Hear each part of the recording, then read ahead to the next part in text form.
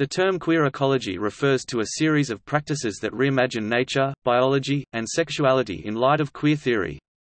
Queer ecology disrupts heterosexist notions of nature, drawing from a diverse array of disciplines, including science studies, ecofeminism, environmental justice, and queer geography.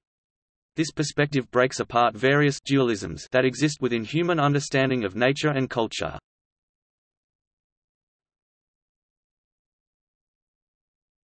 Topic. Overview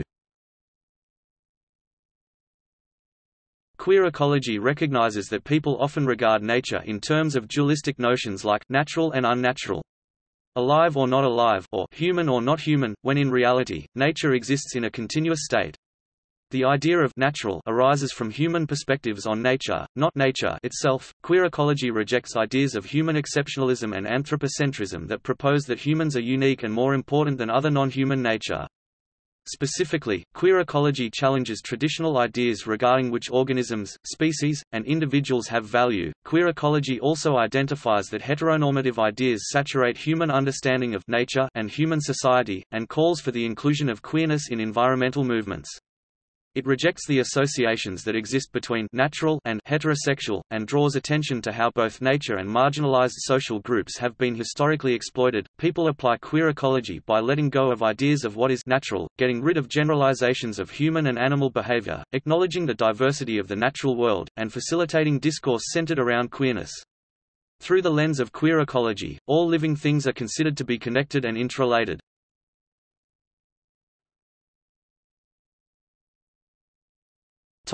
History The theoretical beginnings of queer ecology are commonly traced back to what are considered foundational texts of queer theory. For example, scholar Katrina Sandilands cites queer ecology's origins back to Michel Foucault's The History of Sexuality 1976. Sandilands suggests Foucault lays the groundwork for much contemporary queer ecological scholarship by examining the conception of sex as a specific object of scientific knowledge, organized through, on the one hand, a biology of reproduction that considered human sexual behavior in relation to the physiologies of plant and animal reproduction, and on the other, a medicine of sex that conceived of human sexuality in terms of desire and identity. 1 Foucault explains the medicine of sex as a way of talking about human health separate from the medicine of the body. Early notions of queer ecology also come from the poetry of Edward Carpenter, who addressed themes of sexuality and nature in his work. Judith Butler's work regarding gender also laid an important foundation for queer ecology. Specifically, Butler explores gender as a performance in her 1990 book, Gender Trouble, Feminism and the Subversion of Identity. 2. Queer ecology proposes that when Butler's notion of performance is applied to the realm of ecology, it dismantles the nature-culture binary. From the perspective of queer ecology, essential differences do not exist between nature and culture. Rather, humans who have categorized nature and culture as distinct from one another perform these differences. From a scientific perspective, nature cannot be fully understood if animals or particles are considered to be distinct, stagnant entities, rather, nature exists as a web of interactions. 3. In part, queer ecology also emerged from ecofeminist work. Although queer ecology rejects traits of essentialism found in early ecofeminism, ecofeminist texts such as Mary Daly's Gyn, Ecology 1978 laid the foundation for understanding intersections between women and the environment. Queer ecology develops these intersectional understandings that began in the field of ecofeminism about the ways sex and nature have been historically been depicted. As a political theory that insists ecological and social problems are enmeshed, queer ecology has been compared to Murray Bookchin's concept of social ecology 7 since both are political theories that insist that ecological and social problems are enmeshed. In May 1994, an editorial essay in Undercurrents, Journal of Critical Environmental Studies entitled, Queer Nature, introduced the notion of queer ecology. The piece identified the disruptive power possible when one examines normative categories associated with nature. The piece asserted that white heterosexual males hold power over the politics of nature, and this pattern cannot continue. Queer ecologist thinking and literature was also showcased in this issue in the form of poetry and art submissions deconstructing heteronormativity within both human and environmental sexualities. Later in 2015, Undercurrents proceeded to release an update to their original issue and a podcast to celebrate 20 years of continued studies in queer ecology. Recently, movies like James Cameron's Avatar have started to popularize ideas central to queer ecology.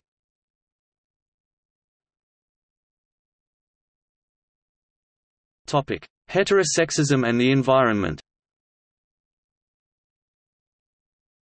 Queer ecology recognizes that people often associate heterosexuality with the idea of natural, in contrast to, for example, homosexuality, which people associate with unnatural. These expectations of sexuality and nature often influence scientific studies of non-human wildlife.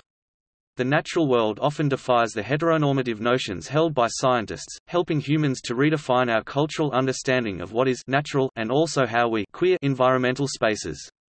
For example, in The Feminist Plant, Changing Relations with the Water Lily, Prudence Gibson and Monica Gagliano explain how the water lily defies heterosexist notions. They argue that because the water lily is so much more than its reputation as a pure or feminine plant, we need to re-evaluate our understandings of plants and acknowledge the connection between plant biology and models for cultural practice through a feminist lens.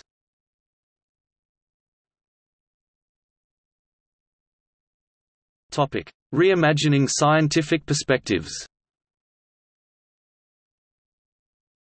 In disciplines of the natural sciences like evolutionary biology and ecology, queer ecology allows scientists to reimagine cultural binaries that exist between natural and unnatural and living and non-living. Timothy Morton proposes that biology and ecology deconstruct notions of authenticity. Specifically, he proposes that life exists as a mesh of interrelations that blurs traditional scientific boundaries, like species, living and non-living, human and non-human, and even between an organism and its environment. Queer ecology, according to Morton, emphasizes a perspective on life that transcends dualisms and distinctive boundaries, instead recognizing that unique relationships exist between life forms at different scales. Queer ecology nuances traditional evolutionary perspectives on sexuality, regarding heterosexuality as impractical at many scales and as a late evolutionary development. Other scholars challenge the contrast that exists between human and non-human classifications, proposing that the idea of fluidity from queer theory should also extend to the relationship between humans and the environment. Others argue that Darwin's theory of sexual selection is false, claiming that diversity reveals the evolutionary stability and biological importance of expressions of gender and sexuality that go far beyond the traditional male-female binary.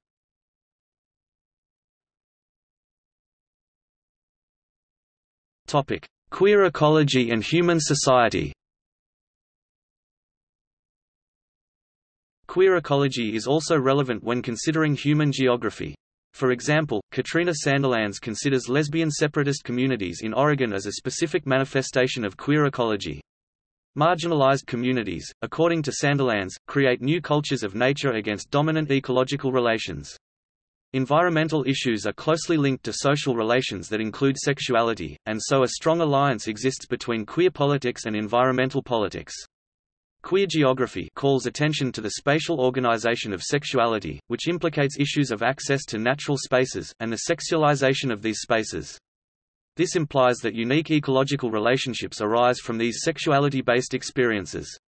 Furthermore, queer ecology disrupts the association of nature with sexuality. Matthew Gandy proposes that urban parks, for example, are heteronormative because they reflect hierarchies of property and ownership.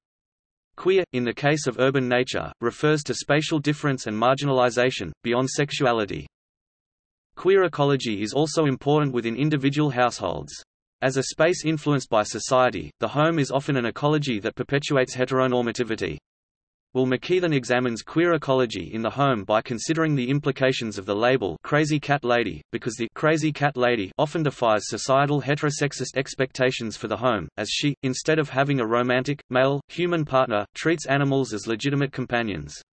This rejection of heteropatriarchal norms and acceptance of multispecies intimacy makes the home into a queer ecology. Queer ecology also works its way into feminist economics, which are centered at childcare and reproduction.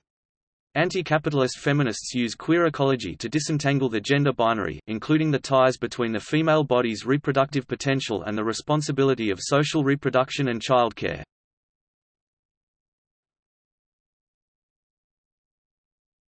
Topic: Arts and literature. Some have begun to apply the notion of queer ecology to their work in visual art, theatre, and literature. Theatre is an important setting to explore ideas of queer ecology because theatre provides an environment to consider a world independent of the constructed binaries and heteronormativity in the outside world. Thus, theatre can construct temporary queer ecologies on the stage. Theatre can portray a hypothetical society of radical coexistence by blurring the lines by challenging social binaries, natural hierarchies, and challenging the notion that the Earth is a non-living entity. Recently, visual artists have also alluded to the ideas central to queer ecology. For example, the 1997 multimedia project Lesbian National Parks and Services, developed by the Canadian performance art duo of Shawna Dempsey and Lorri Millan, queers the idea of national parks and challenges the general public's ideas of tourism, recreation, and the natural environment. 11 Additionally, the artist collective The Institute of Queer Ecology seeks to nurture a new environmental paradigm based on the concepts of interconnectivity and inseparability. 12 They have participated in group shows, curated exhibitions, and edited the queer issue of the the zine ECOCORE. Fundamental notions of queer ecology are present in the writing of Henry David Thoreau, Herman Melville, Willa Cather, and D. Djuna Barnes. These writers complicate the common belief that environmental literature consists exclusively of heterosexual doctrine and each of their work sheds light on the ways that human sexuality is connected to environmental politics. Robert Azzarello, in addition, has identified common themes of queerness and environmental studies in American Romantic and post-Romantic literature that challenge conventional ideas of what is natural.